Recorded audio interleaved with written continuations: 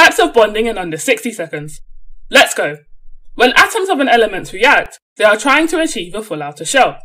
Elements will achieve this by forming one of three bonds. Ionic bonds are formed between metals and non-metals. Metal atoms will lose electrons to form positive ions, and non-metals will gain electrons to form negative ions. The electrostatic attraction between these oppositely charged ions is the ionic bond. Covalent bonds are formed between two or more nonmetals, where the atoms share their electrons to achieve a full outer shell. One shared pair of electrons is equal to one covalent bond. Metallic bonds are formed between metal atoms. The metal atoms will lose their outer shell electrons to form positive ions, and the electrons lost then become delocalized.